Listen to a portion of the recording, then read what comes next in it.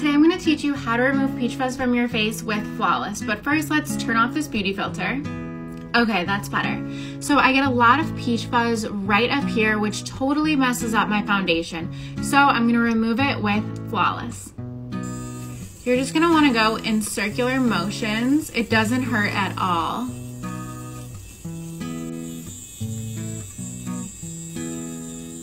And then we're just going to remove the hair.